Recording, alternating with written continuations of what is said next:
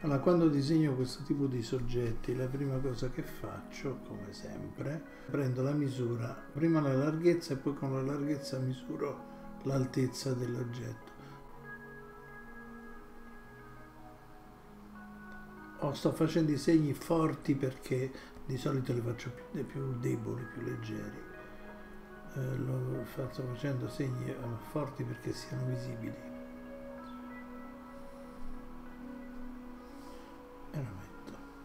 Questa posizione. La larghezza del mio disegno sarà questa e quindi l'altezza sarà diciamo questo più tanto sarà circa questa qui. Dopodiché la prima cosa che faccio ho chiaramente la misura che ho preso esclude il beccuccio e anche il manico. Adesso mi interessa di prendere le misure del corpo mi serve prima di tutto di trovare l'asse di simmetria che ho praticamente trovato è qui.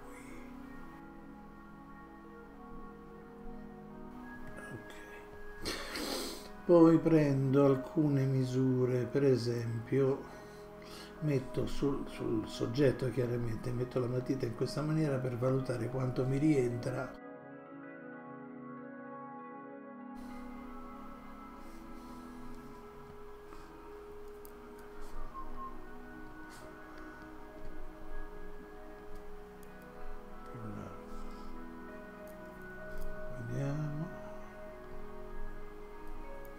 solito io queste misure le prendo a occhio, però ci vuole un po' di allenamento a occhio. Dopodiché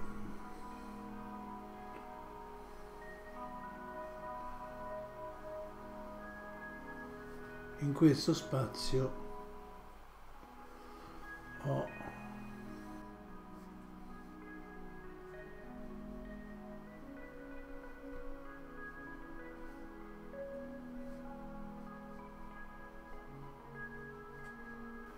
testa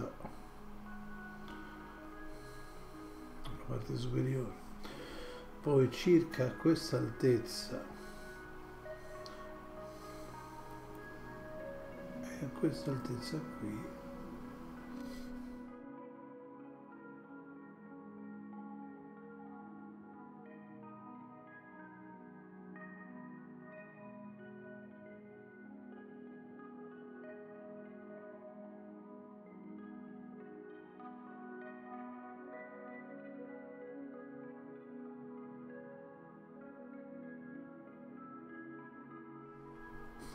questa altezza ho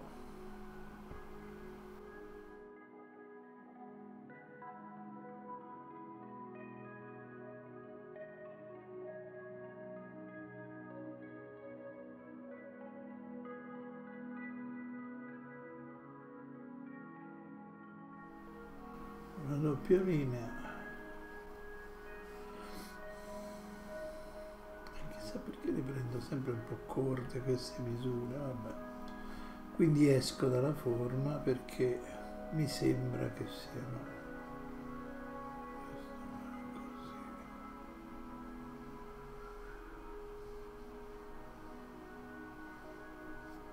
Poi se voglio fare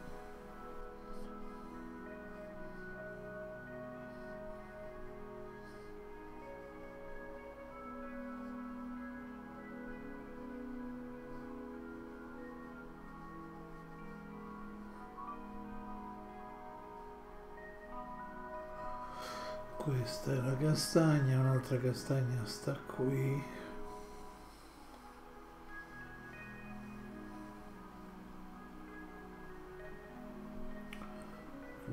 queste le sto prendendo proprio a occhio solo per, per prendere un appunto eh. quindi non saranno perfette potrei anche prendere delle misure perfette però.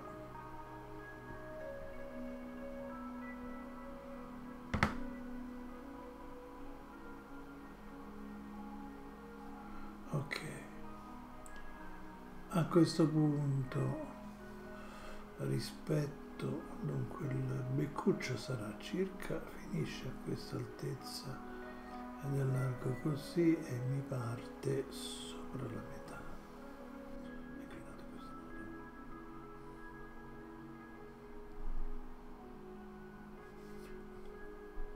lo vedi in questo modo. Ok. Il manico è montato su da, va da qua a qua. Praticamente è montato su quest'asse e mi finisce esattamente nella stessa posizione. E come, come funziona manico funziona. Così. Anche lui è largo circa tanto. Adesso sto prendendo le, le misure a occhio però. Perché no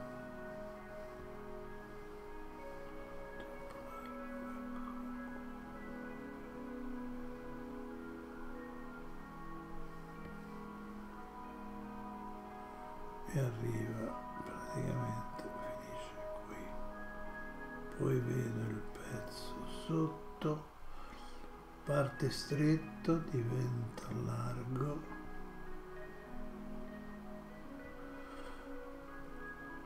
Qui tornerà.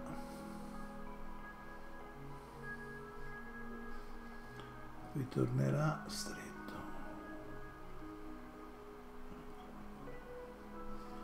E queste sono le misure adesso. Qui sto così qui sopra ciò questo che mi arriva praticamente qui.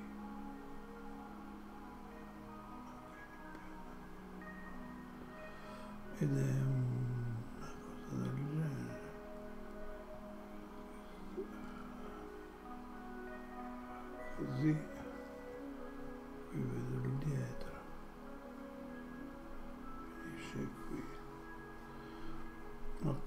Ok, adesso comincia a individuare alcune zone importanti. Una,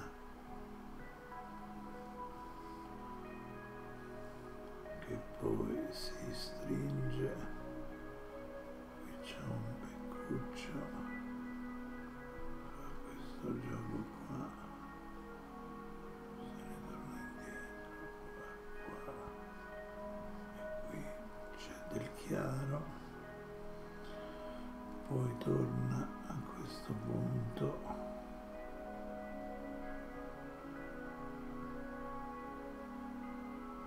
per adesso lo individuo così.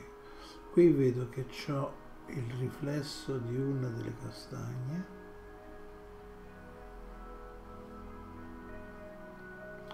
L'altro riflesso lo trovo.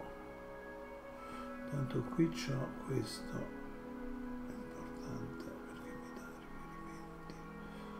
Questo è importante perché mi dà riferimenti poi c'ho questo la castagna sta in questa posizione il riflesso della castagna sta in questa posizione arriva circa alla stessa altezza.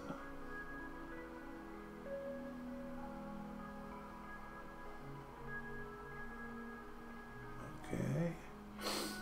Poi rispetto a questo qui c'ho un altro riflesso importante stretto e importante poi questo è un po' troppo alto vabbè.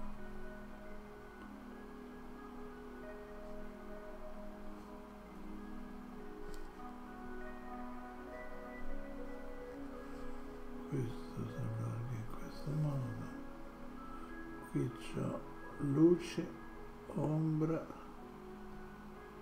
che viene fino a qua altra ombretta così. Questo gira in questo modo. Qui partendo da qui arriva fino in cima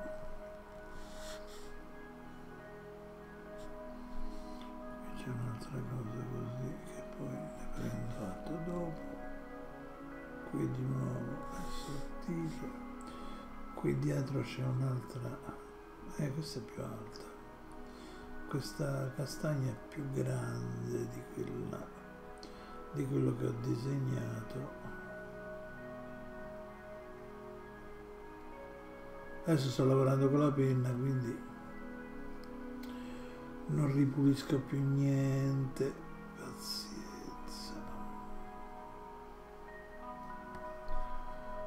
fatto. Poi qua dietro ho un'ombra portata.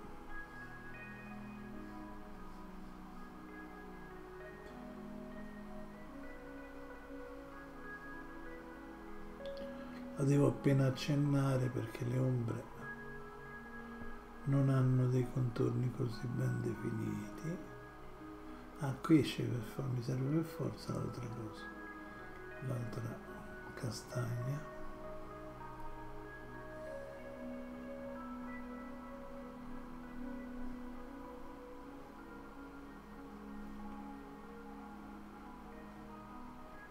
Che mi finisce qui. E se ne qua sì, questa castagna è decisamente piccolina. Però, però ai fini del bozzetto è abbastanza relativo.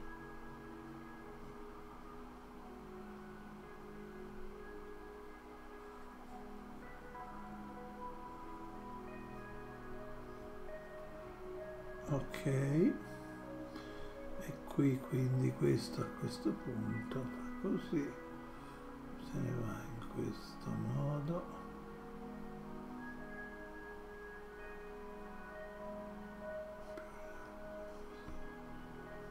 Va giù e arriva fino a qui. Diciamo ah, dall'altra parte ci sono due ombre. Una parte qui perché era, era male illuminato questo soggetto. C'aveva due riflessi questo va giù così addirittura fino a qui arriva. Poi vedo anche questo. E va così. A questo punto chiudiamo. Chiudiamo l'inquadratura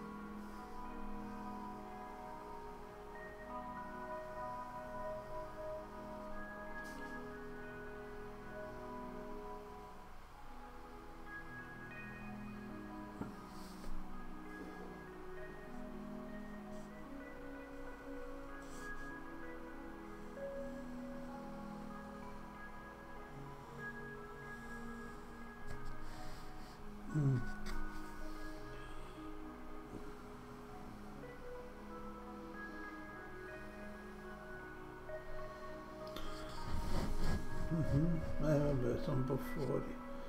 Che faccio? Ma sì, appena bene, ecco.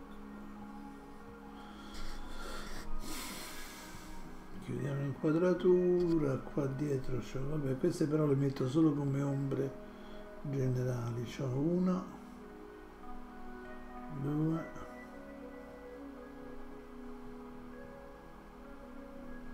così, questa mi parte qui va così.